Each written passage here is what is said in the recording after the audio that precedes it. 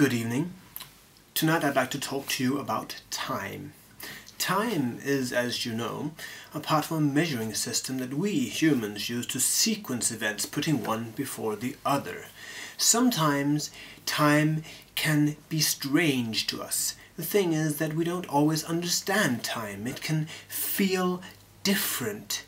As we usually say, time is an illusion or time is a variable size. The thing that I often find about time is that if I go like this,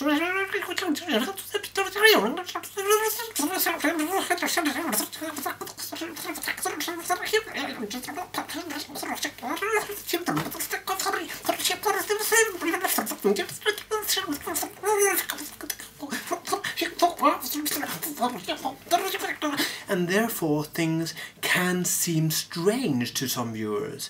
And sometimes when we gather information about time, we find that we must understand it differently because time can be so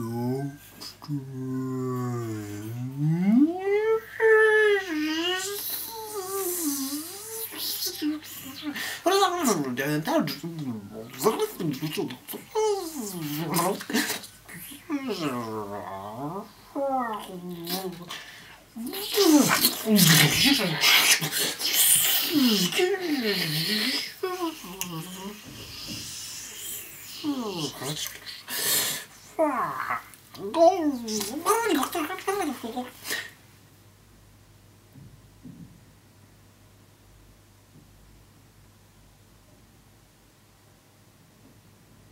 If you know what I mean. Thank you.